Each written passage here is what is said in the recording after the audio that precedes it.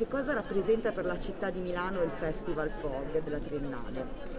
È un festival che rispecchia l'identità di Milano perché è un festival fortemente legato a una vocazione internazionale, rivolto principalmente ai giovani, ai giovani eh, studenti universitari, anche agli stranieri residenti a Milano perché gli spettacoli sono sovrattitolati in doppia lingua ed anche un festival dedicato all'innovazione, alla sperimentazione, alla ricerca, quindi anche a quelle caratteristiche che fanno parte della storia di questa città, soprattutto nell'ambito dello spettacolo dal vivo.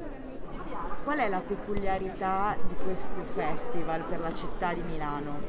Beh, innanzitutto è un festival eh, che incrocia teatro, danza, sperimentazione, linguaggi diversi, musica eh, e, e, lo fa con una grande attenzione al panorama internazionale, quindi da questo punto di vista io lo considero assolutamente un'eccellenza.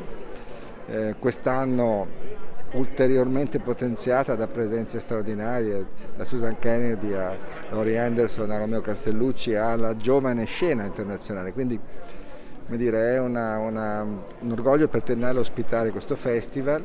Eh, devo dire che tra il teatro triennale e la triennale nel suo complesso si è creata ormai una identità eh, totale di, di vedute, di valori, di progetti.